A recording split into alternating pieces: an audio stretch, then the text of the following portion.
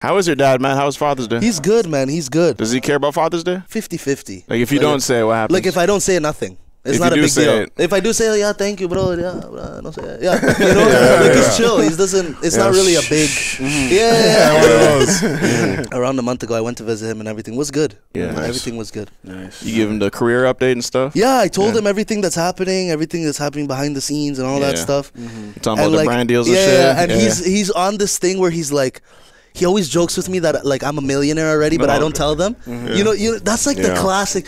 So he so he so I would he would call me like he'll randomly call me, and I'll be like, hey, hey, um, I'm busy right now. Can I call you back? Like I'll just be. Talking to some, like you know something simple.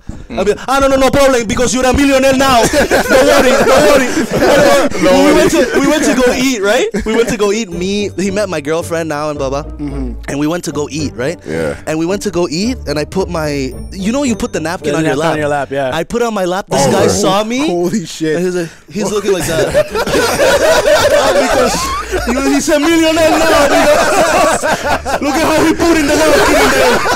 Wow. Sorry. You can't, you Oh, can't dirty my take, jeans, like- not in the pants. You can't take. yeah, yeah, that's the point. He has dirty pants and shit. Yeah. Fucking muscle and shit. when he saw me. Oh my god. I let it. That should keep you grounded though, man. Yeah, That's yeah. so funny. Yeah. But the thing But is, it they be taking the yeah. millionaire jokes too far. Too where I'm far. like, Yeah. I'm like, yo, dad, I need financial help. Yeah. you just keep calling me a millionaire, nigga. It's just like, yo, I really. It's not adding up. You really just make us be paying for the bills and shit shit. Yeah. Fucking, the, you know what I mean? We go out for dinner and it's like it's on us. Oh, these guys are good, man. Yeah. like, I'm actually in a valley right now, nigga. It's not. It's not the best. It's a slow season right yeah. now. Yeah, yeah.